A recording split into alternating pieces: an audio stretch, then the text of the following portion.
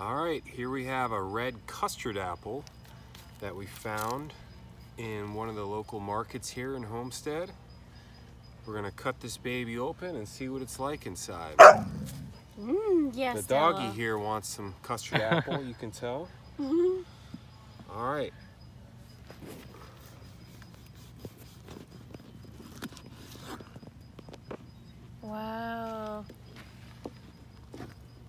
That looks custardy and beautiful, nice pink red Nice color. color.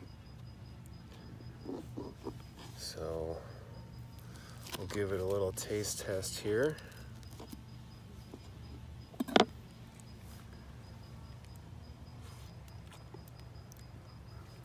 Mmm, How is it?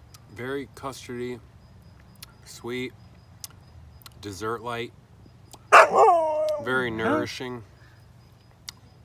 Red custard apple in the Annona family. Highly suggest it. Absolutely incredible. Nice.